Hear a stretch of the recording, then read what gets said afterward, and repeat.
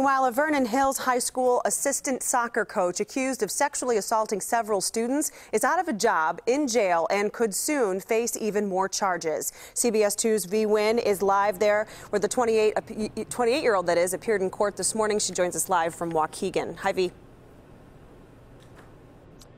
Marissa, the prosecutor says today in court that they have three male victims at this time. They are students at Vernon Hills High School. The prosecutor also said that they could have three additional male victims. They are still in the process of interviewing them and says more charges could be filed against the former soccer coach. Now, inside the Lake County courthouse is where 28 year old Corey Beard appeared in front of a judge for a bond review. Her defense attorney asked the judge to reduce the $1 million bond, saying her family couldn't pay that that and asked the judge to consider how she's been cooperative with investigators and how she's not a flight risk. The judge told him he had to consider the nature of the offenses and said it would be premature and denied the motion. We learned today in court Beard gave a voluntary statement to investigators. She admitted to having sexual relationships with three male soccer students at several different places, including her house and in cars. When asked about Beard's demeanor, her defense attorney says his client is very sad